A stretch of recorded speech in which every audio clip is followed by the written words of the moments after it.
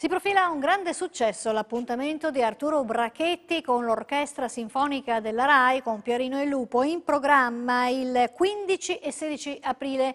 I biglietti sono già quasi tutti esauriti, i ritardatari però possono rivolgersi all'auditorium di via Rossini a Torino. E intanto la star internazionale della magia si è esibito in un esilarante incontro a Canale. Da piccolo mio, mio, nonno mi diceva sempre provi in bel arnese. Già, un vero arnese, fin da piccolo, un arnese geniale, imprevedibile, unico, incontenibile. Profumo di maghi, stare vino tra le volte antiche a canale. La laurea inventata dall'Enoteca del Roero passa ad Arturo Bracchetti che la riceve con il ciuffo nascosto sotto un cilindro nero. Così il contrasto dei colori è perfetto. Giallo paglierino, il vino che presenta il suo 2009, profumatissimo e stracolmo di raffinati retrogusti capelli così certo che me le tempero ogni sera col temperamatite.